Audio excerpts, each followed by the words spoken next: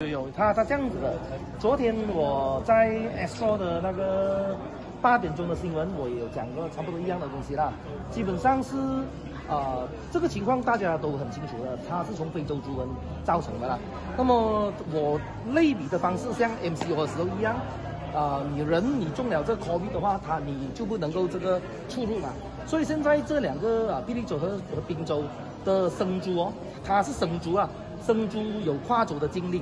那么当然啊，在一轮的协商之后呢，有一些州的这的这个兽医局也有条件的接受跨走，就例如说，彭亨州的兽医局他批准了。啊，从霹雳州的这个生猪呢运去彭州，所以他为什么这个啊霹霹雳州的生猪要运出去是这么的重要？是因为半岛的很大的程度上呢是靠霹雳州的这个啊生猪来提供这个市场上的猪肉啦。所以在这个情况下呢，他当然刚才举例的这个彭州都接受了了。那么过接下来的这两天呢，我本身呢我会去这个参观雪州的这个拉旺的最大的这个猪肉的屠宰场，那么看看它是否它的防疫的的那个措施做得好，那么你才能够啊考虑说能不能够让啊啊这个呃非洲猪瘟的黑区的猪的生猪跨州来到那个屠宰场啊。因为那个屠屠那个屠宰场在饶邦，我没有错是全全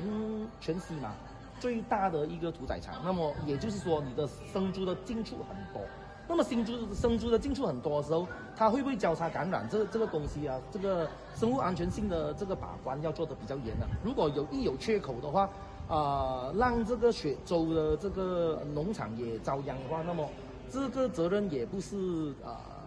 轻而讲讲是是是是一个轻的一个责任，所以我们必须要啊比较呃负责任的、审慎的看待这个事情。说只是讲啊，在时不时我们会再检讨了。那么在参观了这个拉旺的这个屠宰场之后呢，我会再召开多一轮的会议，尤其是在啊关于这个霹雳和这个雪州之间的兽医局，他们是否有达成一致的一个的一个啊公司？那么引用这个彭亨州。开放给这个霹雳州生猪啊跨州的那个模式，它当然有它的一些的条件呢，啊，这个是在接下来的这个星期呢，应该会有再进一步的调整。